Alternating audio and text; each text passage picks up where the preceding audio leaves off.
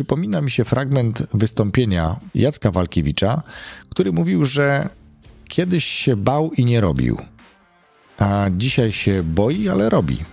Zapraszam do podcastu Rozwój Osobisty dla Każdego.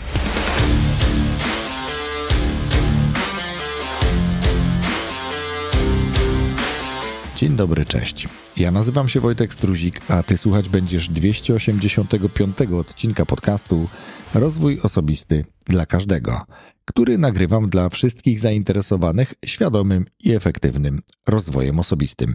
Dzisiaj czas na odcinek solowy, ale przypomnę, że w 284 odcinku rozmawiałem z Marcinem Dąbrowskim o projektach nierealnych i przypomnę, że można otrzymać książkę, ale żeby tę książkę otrzymać, należy przesłuchać odcinek, żeby wiedzieć, co zrobić, aby tę książkę od Marcina i ode mnie otrzymać. E, gorąco do tego namawiam, a teraz już zapraszam do dzisiejszego solowego odcinka o siedmiu kluczowych, według mnie, nawykach.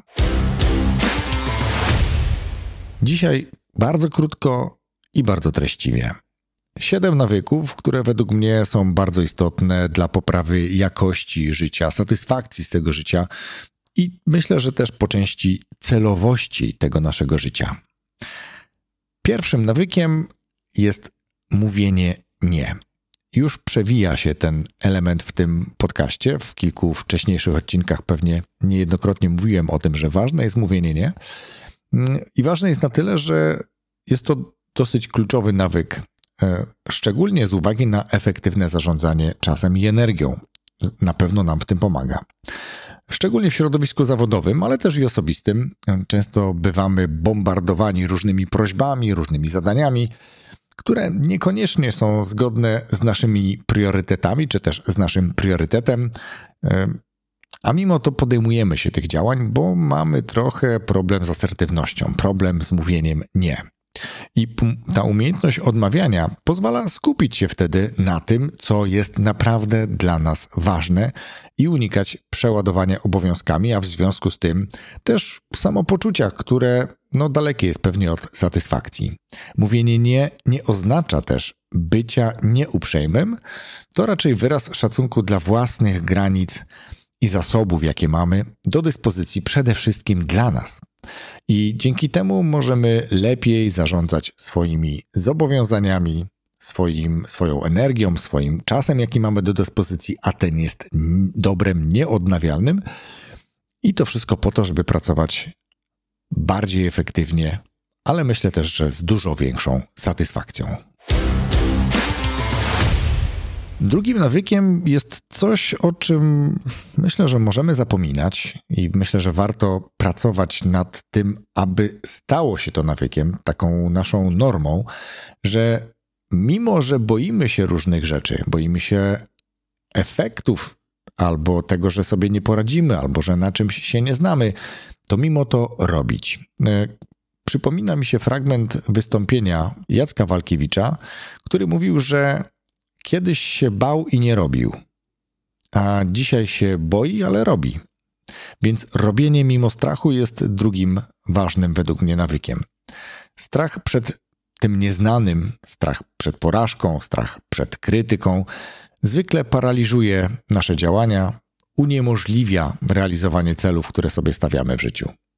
Robienie mimo strachu oznacza stawianie czoła tym obawom, no i podejmowanie działań pomimo tych obaw. Ten nawyk pozwoli przekraczać własne granice. Myślę, że pozwoli też rozwijać się i osiągać rzeczy, które wcześniej być może wydawały nam się niemożliwe, wydawały nam się poza naszym zasięgiem. Ale to, co myślę jest najważniejsze w tym nawyku, to zrozumienie, że strach jest naturalną reakcją na wyzwania, na to, co nas spotyka, szczególnie takie coś, co nas zaskakuje albo jest czymś zupełnie nowym, ale to też nie powinno być czymś, co nas powstrzyma przed dążeniem do osiągnięcia danego celu, do sukcesu.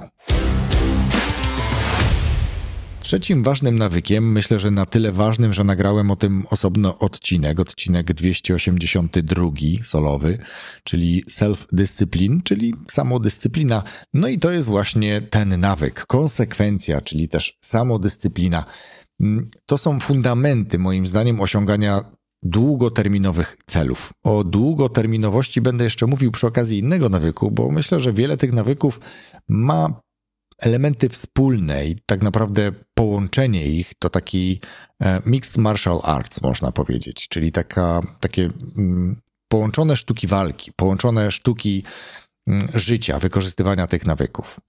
Mm, ta konsekwencja, czy też samodyscyplina, to też zdolność do regularnych, e, do wykonywania regularnych zadań, czy też regularnego wykonywania zadań, nawet gdy jest to trudne, może mało motywujące, może na początku nie widzimy od razu efektów, ale samodyscyplina pomaga w utrzymaniu stałego tempa pracy, pomaga w realizowaniu celów, w realizowaniu y, różnych rozmaitych zadań, również tych trudnych, a w praktyce oznacza to tworzenie i trzymanie się na przykład harmonogramów, listy zadań, listy priorytetów, tych ważnych zadań, czy też wypracowywanie nawyków, które wspierane są przez inne e, działania, czy pomagają nam zrealizować cele. Więc samodyscyplina jest kluczowa, może powinienem ją dać jako pierwszą, kluczowa w kontekście budowania nawyków, właśnie. Ale to, co myślę jest też istotne, to to, że konsekwencja może budować, może buduje poczucie odpowiedzialności, ale też i wiary w to, że damy radę, czyli wiary we własne możliwości. Jak powiedziałem, nawyki są ze sobą bardzo często połączone nie tylko efektem, ale czasami też sposobem działania. I myślę, że ten nawyk jest bardzo istotny i podlegał on już niejednym badaniom, ale jeden z takich szczególnych eksperymentów jest nam bardzo znany, myślę, polega to na efekcie marshmallow, czyli mówię tu o odroczonej gratyfikacji. I ta umiejętność to umiejętność rezygnacji, czy ten nawyk e, to umiejętność rezygnacji z natychmiastowej nagrody. E, oczywiście, że na rzecz tego czegoś większego w przyszłości.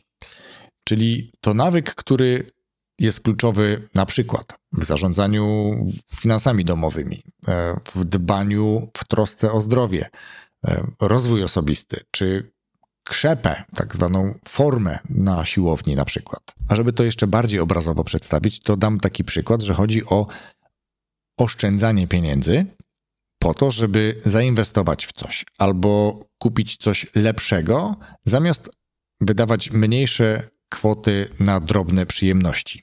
Albo regularnie ćwiczyć, biegać, spacerować, jakkolwiek, kto, kto cokolwiek woli. Ja często mówię o aktywności fizycznej, po to, żeby w perspektywie wielu lat osiągnąć rezultat, cel. Tu nie chodzi o to, że pójdziesz trzy razy w tygodniu, e, albo inaczej, pięć razy w tygodniu na siłownię po to, żeby mieć szybko rezultaty.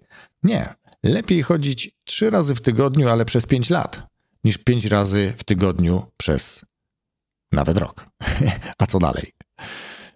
Ten nawyk odroczonej gratyfikacji pozwoli na lepsze planowanie, na lepsze podejmowanie decyzji, a te z kolei przyniosą większe korzyści w dłuższej perspektywie, w perspektywie dłuższego okresu czasu. To jest trochę tak, jakby zasadzić ziarno, pestkę i już za parę godzin patrzeć, czy coś wykiełkowało, wyrosło. Za dwa dni chcieć już na przykład zbierać plon z takiego ziarna, więc no to tak nie działa i świadomość tego, kultywowanie tego, uczenie się odraczania czegoś na przyszłość jest kluczowym nawykiem.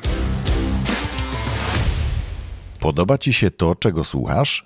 Postaw mi wirtualną kawę. Link znajdziesz w opisie odcinka.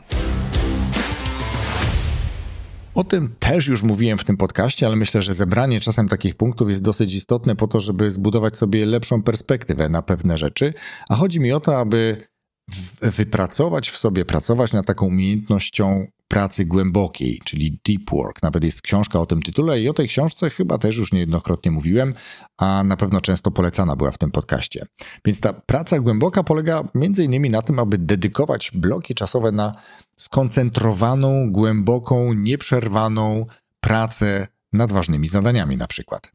E, co jest, myślę, dosyć istotne, bo w dzisiejszym świecie pełnym rozproszeń, rozpraszaczy, jak ja to mówię, umiejętność skupiania się na jednej, jedynej czynności jest naprawdę niezwykle cenna. Głęboka praca zwiększa też naszą produktywność, co wydaje się być oczywiste, ale też co za tym idzie, jakość tej wykonanej pracy, ale też i satysfakcję z osiągniętych rezultatów. Czyli w praktyce może to oznaczać wyłączenie powiadomień, znalezienie cichego miejsca do pracy, takiego, gdzie możemy się skoncentrować, no i skupienie się na tej jednej rzeczy, na tym jednym zadaniu przez określony czas. Punktem szóstym jest coś, co i mnie niejednokrotnie przychodziło z trudem. Nadal nie uważam, że jest to łatwe, ale nadal uważam, że jest to ważne. A chodzi mi o praktykowanie wdzięczności, czyli regularnym zapisywaniu najczęściej i najlepiej, e, bo myślenie jest tu i teraz i to też jest ok, natomiast zapisywanie myślę, że działa zdecydowanie lepiej. E, tych rzeczy, które czy za które jesteśmy wdzięczni. To taki nawyk, który pomaga utrzymać pozytywne podejście do życia, na przykład, albo poprawia nastrój, czy też swoim e, działaniem w perspektywie czasu, znowu, redukuje stres.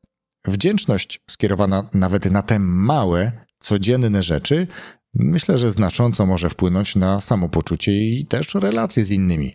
A w praktyce może być prowadzeniem dziennika, dziennika wdzięczności albo dziennika, w którym jedno, dwa zdania poświęcamy na to, aby właśnie wyrazić swoją wdzięczność za to, zapisać tam. I myślę, że ponieważ dzisiaj mamy wszystko, to bardzo ciężko jest nam podziękować za to, że dzisiaj była super pogoda, że nie byłem głodny, bo przecież nie chodzę głodny, że chodzę ubrany, że chodzę czysty. To są rzeczy tak oczywiste, że ciężko za to jest komuś, sobie dziękować. A wypracowanie takiej metody myślę, że pozwoli dostrzegać coraz więcej takich rzeczy, za które warto być wdzięcznym. I ostatnim punktem, ale też mocno przenikającym się z tymi wcześniejszymi, jest nawyk bycia uważnym, takim mindfulness, czy też mindfulnessowym. Bo mindfulness to nic innego jak ta właśnie uważność, takie praktykowanie obecności tu i teraz, w chwili bieżącej. I to polega na pełnym zaangażowaniu się w to, co robimy. Było trochę o tej pracy głębokiej, ale bez oceniania, bez rozpraszania tej uwagi. Myślę, że to znacząco pomaga również w redukcji stresu, w zwiększaniu takiej samoświadomości, świadomości siebie, swojego otoczenia, ale też na poprawie ogólnego samopoczucia.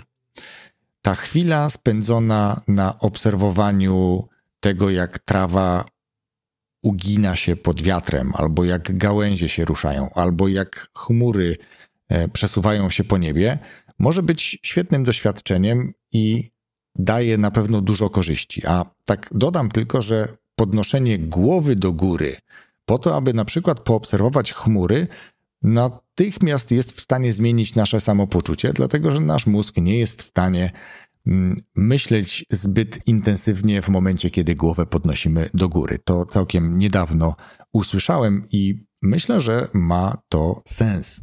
Natomiast ogólnie wracając do mindfulness, do uważności, myślę, że poprzez medytację, poprzez ćwiczenia oddechowe, czy takie właśnie świadome przeżywanie tych chwil, które przeznaczyliśmy na tą praktykę, czy tę praktykę, najlepiej w cyklach codziennej e, takiej e, uważności, jest kluczowe i warte wdrożenia. Na pewno sprawdza się, co już niejednokrotnie potwierdzały rozmaite badania.